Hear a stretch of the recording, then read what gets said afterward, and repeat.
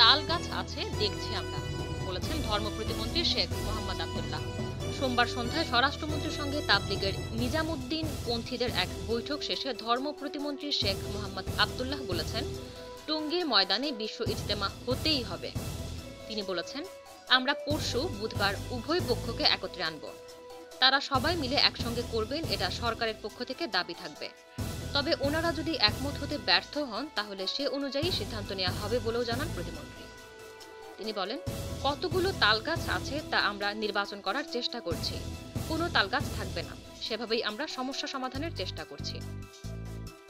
শেখ মোহাম্মদ আবদুল্লাহ বলেন, আমাদের উদ্দেশ্য হলো যে কোনো মূল্যে বাংলাদেশে বিশ্ব ইজতেমা অনুষ্ঠিত হতে হবে। টঙ্গীর ইজতেমা সারা বিশ্বে অত্যন্ত গ্রহণযোগ্য। বাংলাদেশে যেসব গুণ আছে তার মধ্যে এ- একটি মহৎ গুণ বিষয় ইজতেমা